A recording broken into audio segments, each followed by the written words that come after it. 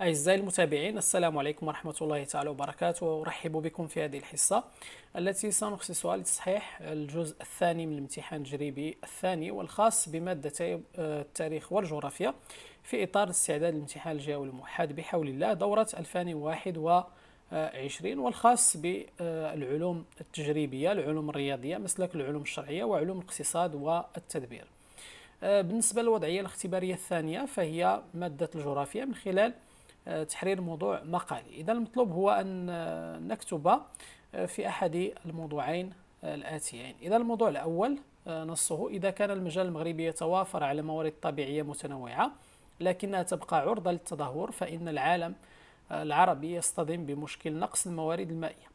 إذا المطلوب هو أن نكتب مقالا جغرافيا نبرز فيه العناصر الآتية. أولا وضعية الماء والغطاء النباتي في المغرب. ومظاهر مشكل الماء في العالم العربي. ثم العوامل المفسرة لمشكل الماء بالعالم العربي. أخيرا آه، التدابير المتخذة لمواجهة تدهور الغطاء النباتي في المغرب ومشكل الماء في العالم العربي. آه، الموضوع الثاني نصه آه، تتعدد مظاهر أزمة المدن والأرياف بالمجال المغربي. لذلك يحاول المغرب جاهدا التغلب عليها من خلال تبني سياسة إعداد التراب الوطني. إذا المطلوب هو أن نكتب مقالا جغرافيا من العناصر الآتية مظاهر أزمة الأرياف والمدن المغربية اجتماعيا واقتصاديا وبيئيا ثم العوامل المفسرة لأزمة المدن المغربية. أخيرا دور سياسة إعداد التراب الوطني في معالجة أزمة الوسط الريفي بالمغرب. إذا بعد ما قرينا يعني الموضوعين قراءة جيدة ومتمعنة إذا كنحاول أننا نجاوب آه، طبعا على الموضوع بشكل متكامل. يعني أننا نحر يعني ونقوم بكتابة موضوع مقالي متكامل من مقدمة طرح الإشكال إشارة إلى التصميم عرض تحليلي ثم آه، خاتمة. إذا كيف نتعامل مع الموضوع المقالي؟ أولا خصنا نحددوا يعني الإشكالية ثم المجال الجغرافي ثم بعد ذلك نقترح تصميم مناسب. إذا هنا الإشكالية المطروحة هي إشكالية تدبير الموارد آه، الطبيعية في المغرب والعالم آه، العربي. طبعا المجال الجغرافي هو المغرب وكذلك العالم العربي. إذا هنا لدينا جغرافية المغرب وجغرافية العالم العربي. آه، بالنسبة لما هو مطلوب إذا المطلوب منا هو أننا نبرز أولا وضعية الماء والغطاء النباتي في المغرب ومظاهر مشكل الماء في العالم العربي. بعد ذلك ننتقل لتفسير مشكل الماء في العالم العربي. وأخيرا يعني نتناول التدابير المتخذة لمواجهة تدهور الغطاء النباتي في المغرب ومشكل الماء في العالم العربي.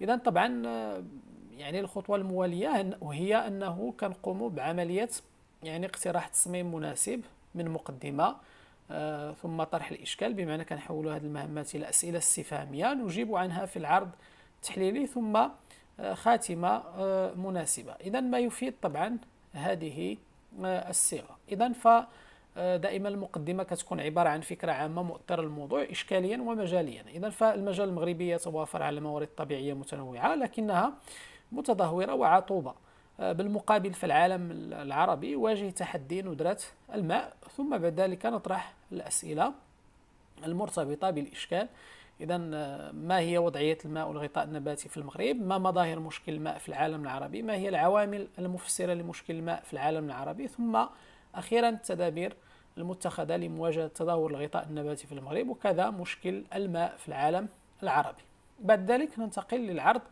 التحليلي. إذا في العرض التحليلي لابد أن آه، نقوم باختيار وانتقاء المعلومات التي تتناسب مع الموضوع. إذا بالنسبة لوضعية الماء والغطاء النباتي في المغرب إذا فتقدر الموارد المائية في المغرب بحوالي 31 مليار متر مكعب في السنة وتبقى محدودة نسبيا لكن المغرب بإمكانياته التقنية واللوجستية فهو يخزن منها حوالي 21 مليار متر مكعب في السنة سواء تعلق الأمر بالموارد المائية السطحية أو الباطنية. إذا هذه الموارد تبقى عرضة للجفاف التلوث الاستغلال المفرط. بالنسبة للغطاء النباتي فهو متنوع يشمل يعني أصناف نباتية وشجرية كالبلوط العرعار والأرز آه، وغيرها. لكنها يعني لكن هذا الغطاء النباتي يبقى متدهورا آه، نتيجة لعوامل يعني طبيعية أخرى آه، بشرية كالجفاف التصحر الاجتثاث الحرائق وغيرها. آه، بالنسبة لمشكل الماء في العالم العربي من مظاهره ندرة المياه محدودية الموارد المائية المتجددة في العالم العربي. ضعف نصيب الفرد العربي من الماء حوالي 500 متر مكعب في السنة. طبعا إحنا من المفترض أنه يعني هذه الأفكار اللي قمنا باختيارها كنقوموا بعملية الربط. إذا لابد من عنصر ربط يعني كنحولوا هذه الأفكار الخام إلى فقرات آه، مترابطة. بالنسبة للفقرة الثانية فالعوامل المفسرة لمشكل الماء في العالم العربي نميز بين العوامل الطبيعية والبشرية. إذا على المستوى الطبيعي نشير للجفاف التبخر التغيرات المناخية. أيضا آه، عدم انتظام التساقطات في الزمان والمكان. ثم آه، عوامل البشرية كارتفاع الطلب على الماء مختلف المستعملين الزيادة السكانية السريعة التوسع الحضاري التطور الاقتصادي وكذلك متطلبات تحقيق الأمن الغذائي. بالنسبة للفقرة الثالثة إذا فأهم المعطيات المرتبطة بالتدابير المتخذة لمواجهة لمواجهة تدهور الغطاء النباتي في المغرب فهي مثلا إنشاء المندوبية السامية للمياه والغابات ومحاربة التصحر أيضا استراتيجية غابات المغرب 2020-2030 القيام بعملية تشجير لتخليف الغابة ولتجديدها آه، ثم التوعية والتحسيس بأهمية المحافظة على الغابة. بالنسبة لتدابير مواجهة مشكل الماء في العالم العربي نشير إلى بعضها كبناء السدود مثلا كالمغرب مصر وتونس. أيضا تشييد محطات لتحلية مياه البحر خصوصا في منطقة الخليج العربي دون أن ننسى إنشاء النهر الصناعي في ليبيا وأيضا آه، ترشيد استعمال المياه. إذا كخاتمة اللي هي عبارة عن استخلاص قيم وامتداد إذا فدول العالم العربي تبقى مطالبة بتطبيق استراتيجية متكاملة ومتناغمة وأيضا ناجعة لتدبير الموارد آه، الطبيعية وترشيد استغلالها. لذلك يمكن أن نطرح هذا السؤال كامتداد إذا ما هي السبل الكفيلة بتحقيق آه، ذلك؟ الآن غادي ننتقل للموضوع المقالي الثاني. طبعا إشكاليته هي مظاهر أزمة المدن والأرياف بالمغرب والجهود التي يبذلها المغرب في إطار آه، سياسة إعداد التراب الوطني للتغلب آه، على هذه الأزمات. إذا المطلوب منا هو أننا نركز أساسا في الفقرة الأولى على مظاهر أزمة الأرياف والمدن المغربية على المستوى الاجتماعي الاقتصادي والبيئي. ثم بعد ذلك نفسر أزمة المدينة أو المدن المغربية. وأخيرا نبرز دور سياسة إعداد التراب الوطني في معالجة أزمة الوسط الريفي تحديدا آه، بالمغرب. إذا بالنسبة للمقدمة ما يفيد هذه الصيغة؟ إذا المغرب يتخذ جملة من التدابير في إطار آه، سياسة إعداد التراب الوطني وذلك للتخفيف من أزمات الوسطين الريفي والحضري لذلك نتساءل ما مظاهر أزمة الأرياف والمدن المغربية؟ المستوى الاجتماعي والاقتصادي والبيئي ما العوامل التي تفسر لنا أزمة المدن المغربية؟ أخيرا ما دور سياسة إعداد التراب الوطني في معالجة أزمة الوسط الريفي بالمغرب؟ إذا في الفقرة الأولى أعزائي إذا غادي نركزوا على مظاهر أزمة الأرياف وكذلك المدن المغربية إن على المستوى الاجتماعي الاقتصادي أو البيئي. إذا بالنسبة للأرياف نشير هنا على المستوى الاجتماعي لاستفحال معضلات الفقر الأمية الهشاشة والبطالة. على المستوى الاقتصادي إلى ازدواجية الفلاحة بين فلاحة تقليدية آه، معيشية أخرى عصرية تسويقية ثم ضعف المردودية الزراعية خصوصا في المناطق البورية بيئيا تدهور الأوساط الطبيعية وتزايد حدة التلوث.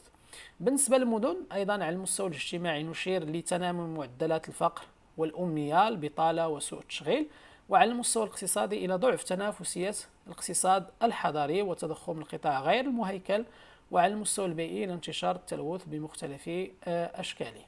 بالنسبة للفقرة الثانية المعلومات الأساسية اللي كنركزوا عليها في تفسير أزمة المدن المغربية. أولا عدم احترام مقتضيات وثائق التعمير الافتقار لمؤسسات اقتصادية كبرى يعني تحرك الاقتصاد الحضري أيضا الهجرة القروية الكثيفة وعدم آه، مواكبة النمو الديمغرافي السريع وكذلك الامتداد الحضري المفرط للنمو الاقتصادي الذي يظل آه، بطيئا. إذا هذه الأفكار كما قلنا كنعتمد عليها ولكن لا بد أن نحولها لفقرات مترابطة. آه، بالنسبة للفقرة الثالثة والأخيرة إذا آه، ما دور سياسة إعداد التراب الوطني في معالجة أزمة الوسط الريفي؟ إذا نشير إلى آه، التوجهات والاختيارات الكبرى لسياسة إعداد التراب الوطني إن على المستوى القطاعي وكذلك المجالي. منها تنمية العالم القروي من خلال مجموعة من البرامج والإستراتيجيات فك عزلة الجماعات القروية خصوصا المناطق الجبلية النائية. أيضا المحافظة على البيئة وتثمين التراث المادي واللامادي. أيضا حل إشكالية العقار لأن تعقد البنية العقارية هو يعرقل عملية استغلال الاستغلال الفلاحي في المناطق الريفية. ثم أيضا تطوير الفلاحة والاهتمام بالعنصر البشري وغيرها من التوجهات والاختيارات. إذا كخاتمة يمكن أن نقول على أن سياسة إعادة التراب الوطني تشكل أداة آه، فعالة للتدبير طبعا والتهيئة للتخفيف من التفاوتات على المستوى التنموي ما بين الأرياف والمدن. لذلك يمكن أن نطرح السؤال كامتداد. إذا ما دور التهيئة الريفية والحضرية في تحقيق تنمية مجالية متوازنة. إذا هكذا نكون أعزائي قد أنهينا هذه الحصة. أتمنى أن تكون حصة مفيدة وماتعة في الآن نفسه وأن أوفق في تبليغ مضامين وعناصر الأساسية. أتمنى لكم التوفيق في آه، استعداداتكم إن شاء الله الامتحان آه، الجهوي آه، الموحد دورة 2021 وأشكركم على حسن تتبعكم وانتباهكم وألقاكم في حصة قادمة بحول الله ومع موضوع آخر. فإلى ذلكم الحين. السلام عليكم ورحمة الله تعالى وبركاته.